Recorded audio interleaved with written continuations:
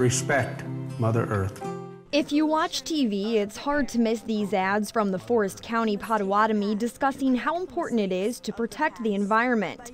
The Potawatomi community is not just talking the talk, they're walking the walk. Huge changes are happening at buildings like the Health and Wellness Center in Crandon. We have 300 of these fixtures, and each fixture, all 300 have 900 bulbs within the facility, which we're changing over to a more energy efficient uh, ballast for these fixtures.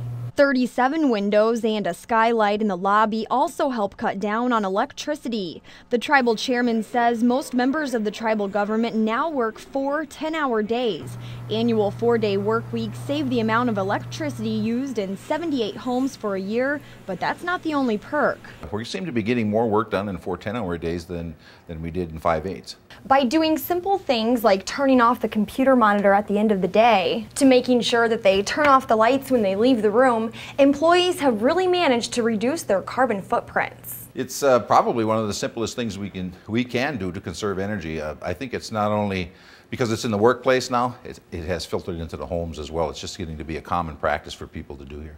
Lights in the pharmacy no longer need to be turned off thanks to this motion sensor. Even the vending machines are green. Our vending machines in the facility are Energy Star rated also, and they are uh, the temperatures maintained at 36 degrees. According to the tribe, small changes like these have cut energy use by 34% and reduced the rate of CO2 emissions by 28% in the past year. So the next time you see one of these ads, know the Potawatomi community is practicing what they preach. Janelle Dobson, Newswatch 12, Crandon.